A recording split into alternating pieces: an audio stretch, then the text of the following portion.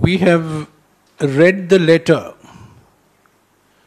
of very senior veteran Congress leader Sri Ghulam Nabi Azad ji that has been released to the media. It is most unfortunate and most regrettable that this has happened when the Congress President, Srimati Sonia Gandhi ji, Sri Rahul Gandhi ji, and the entire Congress party organization across the country is engaged in confronting, combating, fighting the BJP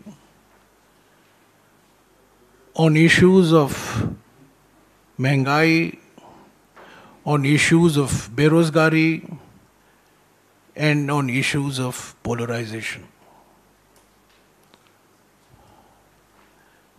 The entire Congress party organization in the last couple of weeks has been involved in preparing for the Mengai Par Halla Bol rally at Ramlila Maidan on September 4th, which will be addressed by Sri Rahul Gandhiji.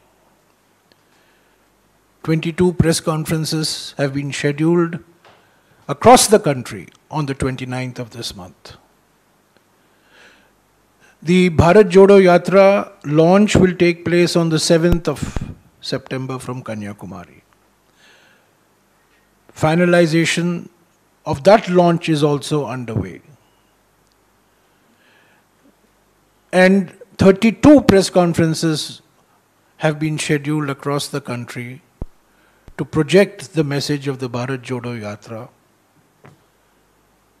So, at a time when every congressman and every congresswoman is involved in ensuring that the Mengai Par Halla Bol rally will be a success, and every congressman and congresswoman wants to be a Bharat Yatri, wants to walk along with Sri Rahul Gandhi ji on this 3500 kilometer long Bharat Jodo Yatra.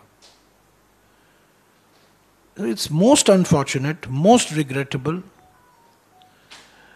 that at this point of time we have had to read this letter